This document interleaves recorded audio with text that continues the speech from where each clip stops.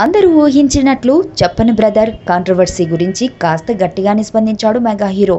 డైరెక్ట్గా ఫ్యాన్స్తోని మాట్లాడాలని ఈ చెప్పను బ్రదర్ అనే విషయాన్ని నేను మీడియా ముందు మాట్లాడలేదు అంటూ తన స్పీచ్ మొదలుపెట్టాడు stylish star Allu Arjun.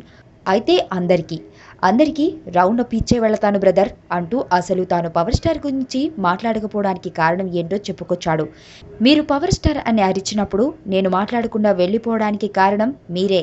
Power star గారు కాదు మీ అరుపులే కారణం అంటూ మొదలుపెట్టాడు బన్నీ.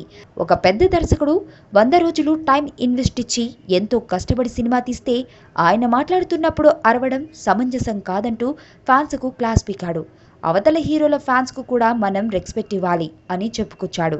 బన్నీ దగ్గర ఎవరో మాట్లాడుతూ సార్ పవన్ అంటే మాకు ఇష్టమే కానీ మాకు కూడా ఫ్యాన్స్ ఉంటారు.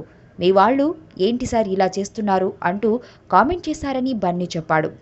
ఇక చిరంజీవి అండ్ పవన్ గురించి మాట్లాడుతూ కళ్యాణ్ గారు కొన్ని వందల సార్లు చెప్పాడు. మా అన్నయ్య వల్లనే ఈ పొజిషన్లో ఉన్నారు అని. ఇక చిరంజీవి గారంత స్టేచర్ ఉన్న వ్యక్తిని మీరు మాట మాట్లాడనీయకుండా అరుస్తున్నారు చూడండి. అది అసలు బాగోలేదు. ఇవాళ మనం ఇలా అరవడానికి ఒక స్టేజ్ క్రియేట్ చేసింది చిరంజీవి గారు. ఆయన్ను మీరు గౌరవించకుండా అరుస్తున్నారు. అది నాకు నచ్చలేదు హర్ట్ అయ్యాను అందుకే మీరు అడిగినప్పుడు నేను మాట్లాడలేదు.